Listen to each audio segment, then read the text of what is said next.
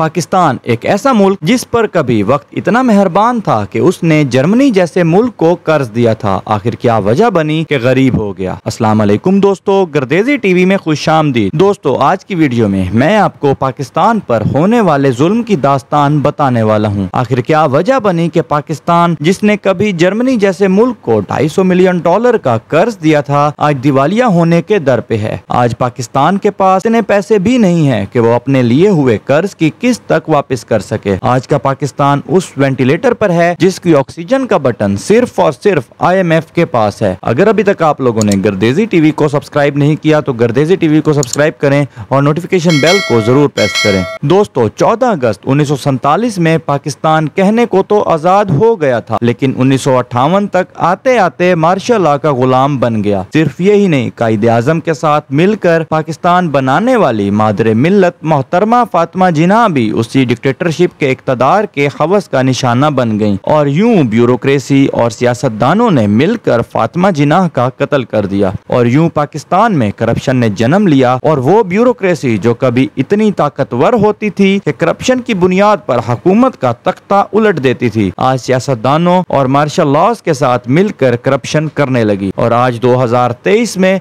वक्त यहाँ तक आ पहुँचा है कि पाकिस्तान में करप्शन तो अब एक आम सी बात बन गई है। अब पाकिस्तान में चाहे कोई भी इदारा हो, करप्शन के बगैर काम नहीं होता। यही वजह है कि आज पाकिस्तान इस मकाम पर है कि हमारे पड़ोसी मुल्क भारत से लेकर सात समंदर पार अमेरिका तक लोग पाकिस्तान के टूटने के ख्वाब देख रहे हैं।